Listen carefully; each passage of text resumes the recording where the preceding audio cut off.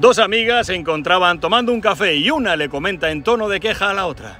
Mi mamá me llama mucho por teléfono para pedirme que vaya a conversar con ella. Yo voy poco y en ocasiones siento que me molesta su forma de ser. Ya sabes cómo son los viejos, cuentan las mismas cosas una y otra vez. Además, nunca me faltan compromisos, que el trabajo, que mi novio, que los amigos. Yo en cambio, le dijo su compañera, hablo mucho con mi mamá. Cada vez que estoy triste, voy con ella. Cuando me siento sola, cuando tengo un problema y necesito fortaleza, acudo a ella y me siento mejor.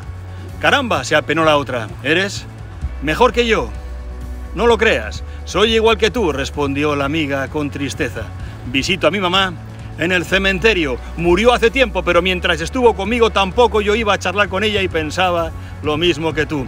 No sabes cuánta falta me hace su presencia, cuánto la echo de menos y cuánto la busco ahora ha partido. Si de algo te sirve mi experiencia, conversa con tu mamá hoy que todavía la tienes, valora su presencia resaltando sus virtudes que seguro las tiene y trata de hacer a un lado sus errores que de una forma u otra ya forman parte de su ser. No esperes a que esté en un panteón, porque ahí la reflexión duele hasta el fondo del alma, porque entiendes que ya nunca podrás hacer lo que dejaste pendiente, será un hueco que nunca podrás llenar. No permitas que te pase lo que me ocurrió a mí.